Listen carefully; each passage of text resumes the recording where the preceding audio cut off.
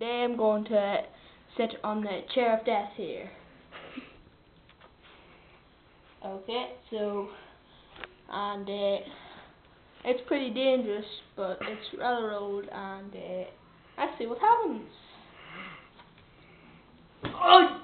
Just give her off, just now off the chair, see what happens.